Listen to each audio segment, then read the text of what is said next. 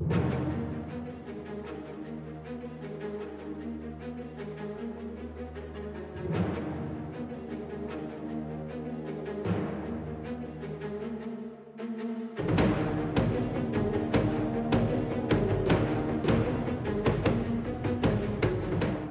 कल संसद पर हमले की बाईसवीं बरसी थी, ठीक उसी दिन फिर से एक बार संसद की सुरक्षा में चूक देखने को मिला।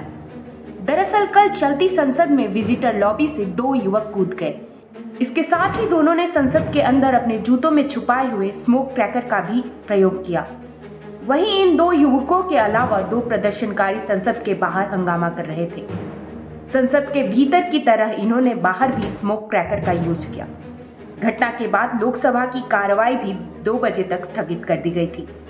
वहीं मामले के बाद नेताओं में काफ़ी भय का माहौल भी देखा गया। नेताओं का कहना था कि घटना की सबसे बड़ी वजह सुरक्षा में चूक थी। वही अब मामले को लेकर बड़ी कार्रवाई की गई है। संसद की सुरक्षा में हुई चूक को लेकर आठ लोगों को सस्पेंड कर दिया गया है।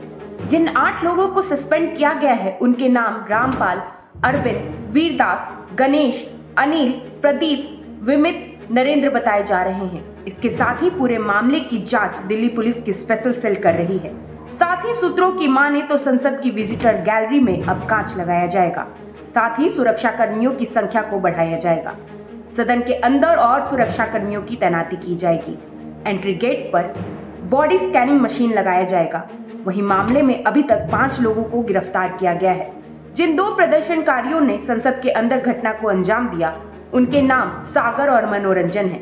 इसके साथ ही बाहर प्रदर्शन कर रहे दो प्रदर्शनकारियों का नाम अनमोल शिंदे और नीलम है। महिला प्रदर्शनकारी नीलम हिसार की रहने वाली है। इसके साथ ही गुरुग्राम से एक और आरोपी को गिरफ़्तार किया गया है, जिसका नाम विशाल है। शुरुआती जाँच में पता चला है कि विशाल के घर पर ही सभी आरोपी संसद पहुँचने से पहले रुके थे।